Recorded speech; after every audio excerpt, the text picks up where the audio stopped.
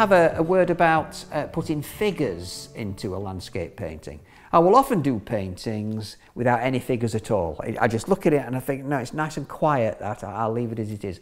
But sometimes you feel as though you want a bit of life, almost a bit of narrative, and a figure walking up a lane or across a footpath or something can add just a bit of life and a splash of extra colour uh, to your painting.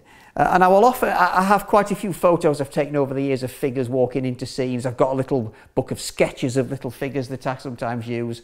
But this is a way that you can, without having being an expert on drawing people, or without having to spend a lot of time on it or searching for a reference, uh, a fairly credible little figure shape that you can create uh, is if we take a colour for a coat, for instance, like um, red on it, and let's just get a little shape, say for the torso of a figure. We'll suggest the elbows. And this is a figure walking away from us.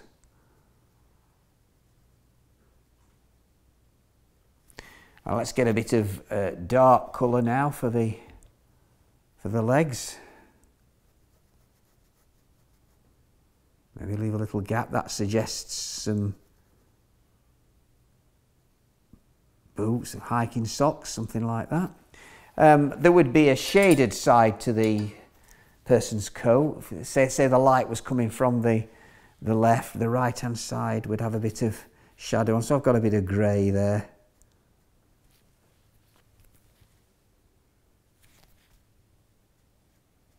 And then a bit of really dark brown again to suggest the, the head. If you leave a gap to suggest the collar,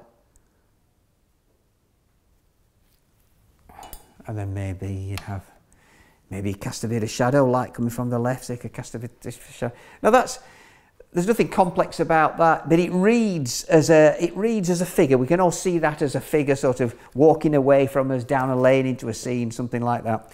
A couple of pitfalls to avoid because I do see this happening when we when I'm in a, a, a live class or workshop and we've decided to add a few figures to a scene is for instance people tend to get the scale of the head wrong. So if I do that little, to, to demonstrate this, if I do that little torso again,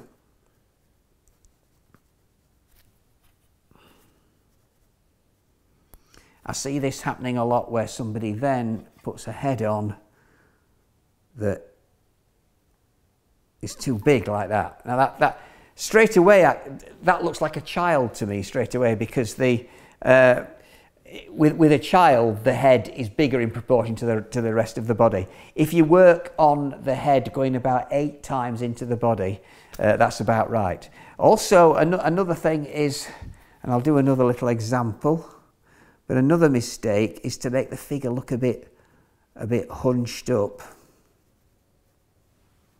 Is if you use, do the head immediately onto the shoulders like that. Uh, and you don't have that little gap there that suggests a neck or a collar, uh, it looks like they're walking about like that. Uh, that's another thing.